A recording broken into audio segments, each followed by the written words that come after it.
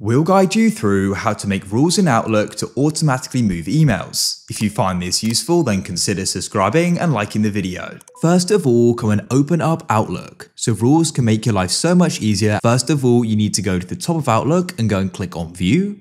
And in View, you can click on View Settings and you'll get this pop-up.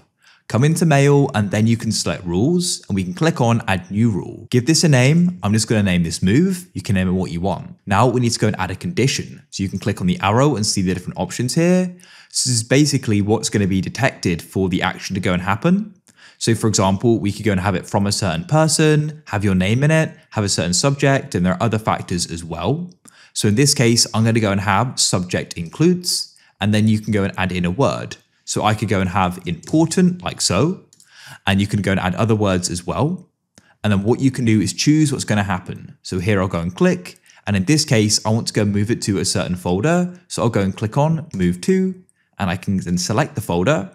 And you can go and create more as well at the bottom. So I'll click create new folder, and I'm going to name this important. Of course, you could do this in different ways. This is the way I'm doing it. Then press save to the right then it should go and select that folder. And you can also go and add exceptions and other actions and conditions as well. And then what you can do is you can go and click on save. Now it's going to go and run. So now when I go and receive an email with important in the subject, it's going to go and be put into my folder. And I can go and see that folder over to the left here, as you can see.